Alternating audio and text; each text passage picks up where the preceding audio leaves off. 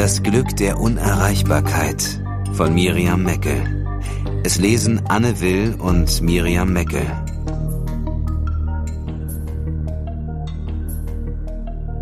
Lästige Erledigungen verschiebe ich gerne.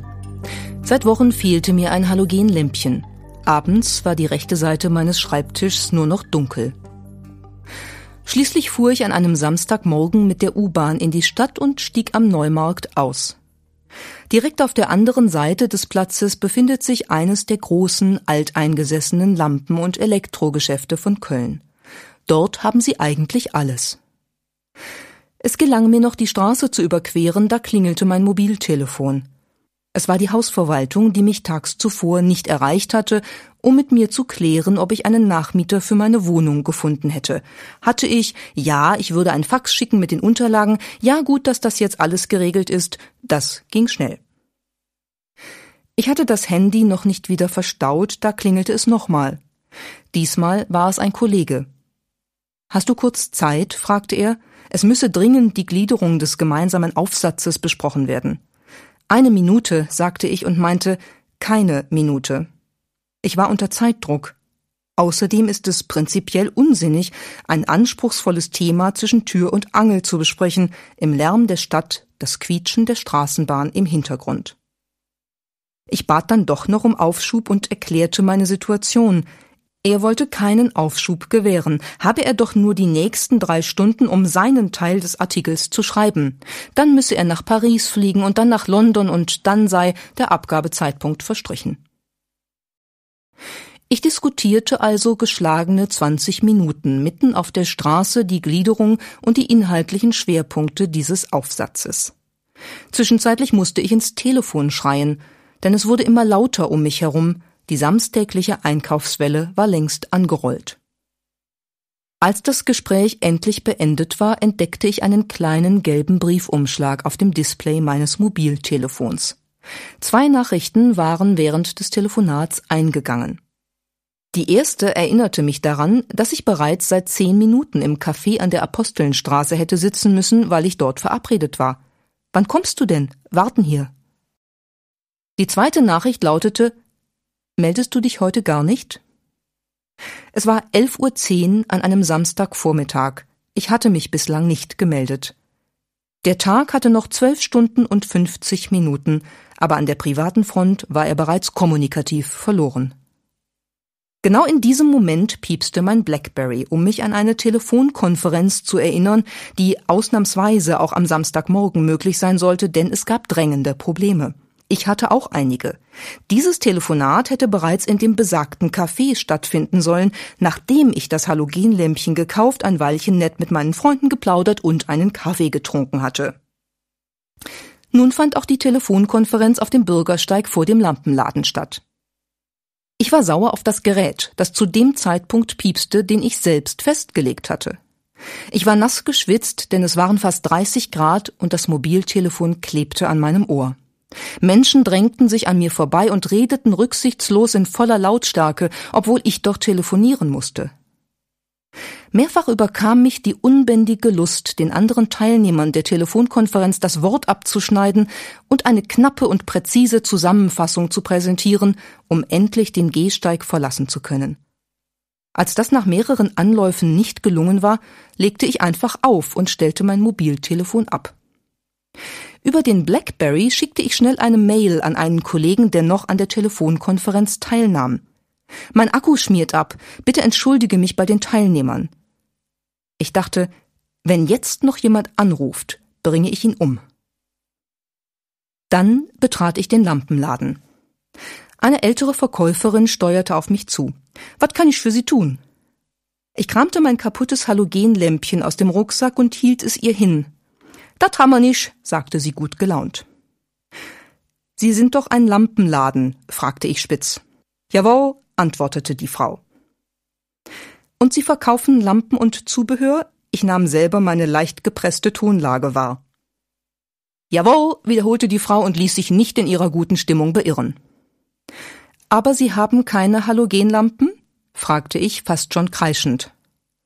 So is es, die haben wir nicht. Ich verspürte ein Beben in mir. Dann sagte ich zu der freundlichen älteren Dame Schlampe, drehte mich auf dem Absatz um und verließ das Geschäft. An jenem Tag habe ich festgestellt, dass ich etwas ändern musste. Etwas war mit mir während der vergangenen Jahre geschehen.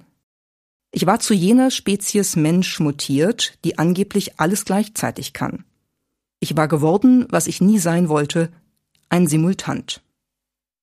Irgendwann in den zwei Jahren vor dieser Szene im Lampenladen muss es einen Punkt gegeben haben, den ich selbst nicht bemerkt habe. Den Zeitpunkt nämlich, als die Kommunikationsanforderungen, die von außen an mich herangetragen wurden, begannen, meine eigene Lebensgestaltung zu bestimmen und meine eigene Kommunikationslogik zu überlagern. Als ich anfing, auf Informationen nur noch zu reagieren, statt nach meinen Wünschen und Vorstellungen zu kommunizieren. Als die kommunikative Vernetzung Wert an sich geworden war und nicht mehr Mittel zum Zweck der Verständigung. Als ich zuließ, dass die Technik mein soziales Leben bestimmt und nicht umgekehrt. Ich war immer online, immer auf Standby und immer erreichbar. Aber ich war eigentlich nie mehr richtig da. Wohlwollend betrachtet war ich zu einem Exemplar der Spezies Mensch geworden, die einen neuen Lebenstrend definiert. Das virtuelle, mobile Ich. Immer unterwegs, immer mit den neuesten Informationen versorgt, immer vernetzt mit anderen, die gleiche Interessen und Ziele haben. So jedenfalls versteht sich die digitale Bohème, die man in den Cafés in Berlin Mitte beobachten kann. Da sitzen sie, junge Menschen, die dank Internet und digitaler Technik dem Traum vom selbstbestimmten Arbeiten offenbar sehr nahe kommen. Sie haben sich von den klassischen Lebens- und Arbeitsräumen emanzipiert, wozu noch ein Büro nutzen, leben und arbeiten in wechselnden Gemeinschaften und brauchen dazu nicht mehr als einen Laptop mit Internet und ein Handy. Das Motto dieser Generation lautet Leben ist da, wo ich Netz habe. Der Reiz dieser Lebensform jenseits der Festanstellung mit stationärem Arbeitsplatz und Bürostuhl liegt auf der Hand.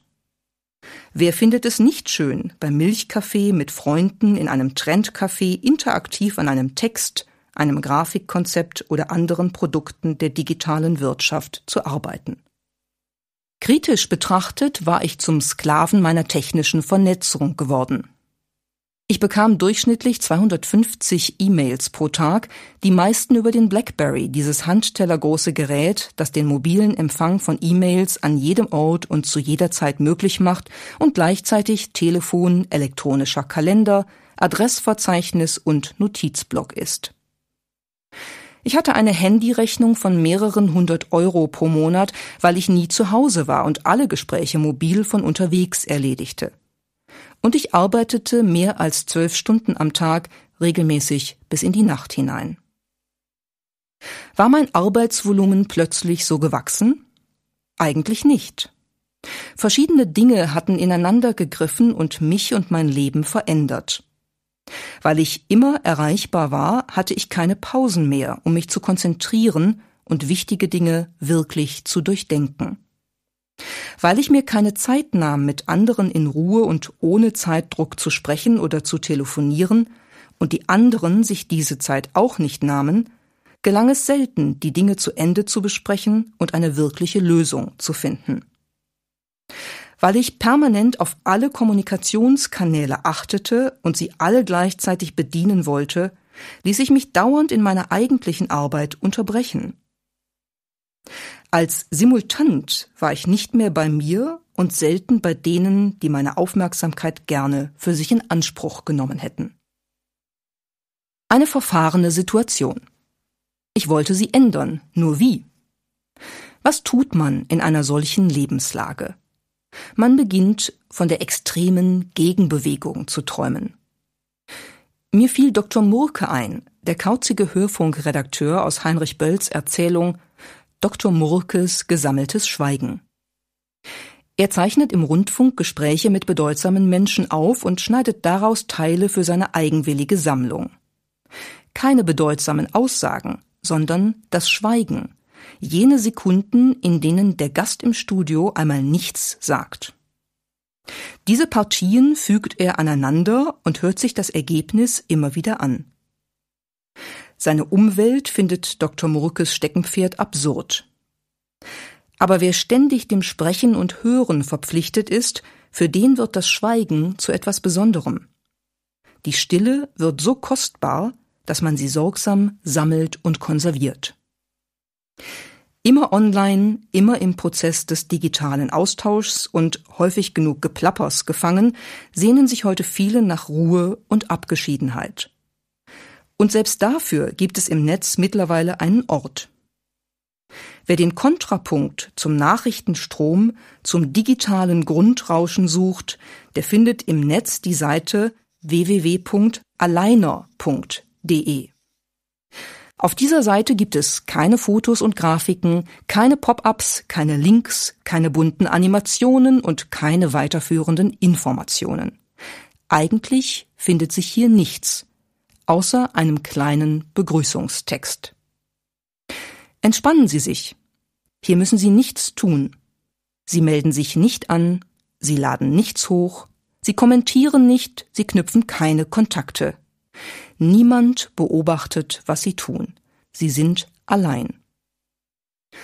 Folgt man der abschließenden Aufforderung, nach unten zu scrollen, hat man vor sich nur noch den schwarzen Bildschirm. Das ist eine schöne Idee für einen Ausnahmemoment.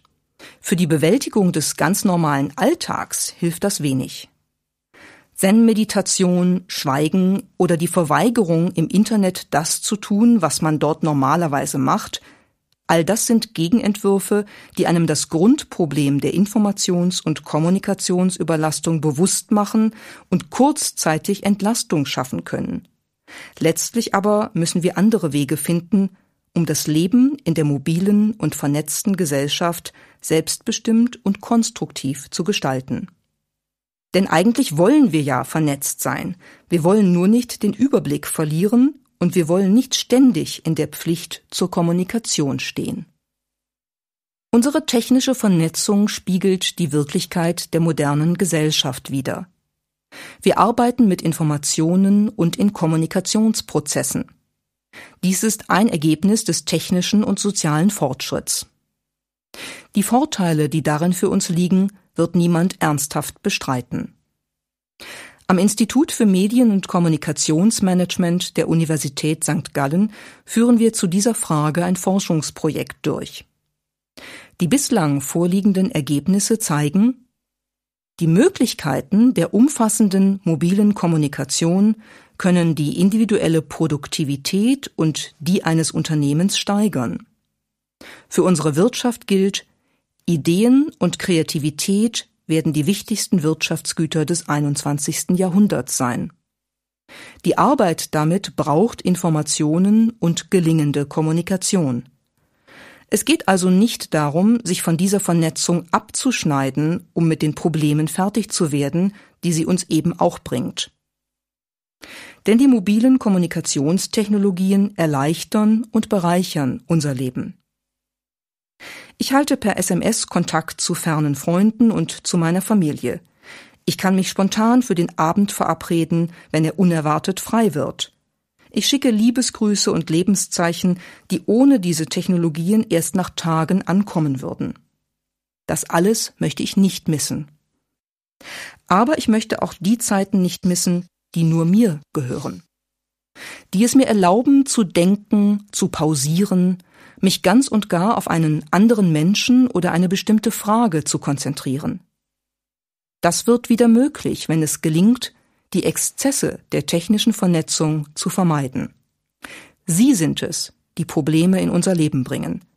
Und Sie sind es, die uns in die Kommunikationsfalle laufen lassen. Zwei grundlegende Einsichten helfen, wieder zu den richtigen Prioritäten zurückzufinden. Erstens, Wer technisch angeschlossen ist, ist nicht zwangsläufig auch sozial angebunden. Zweitens, wer immer erreichbar ist, ist eigentlich für nichts und niemanden wirklich da. Früher gab es Phasen, für die sich die Gesellschaft auf eine Kommunikationspause verständigt hatte.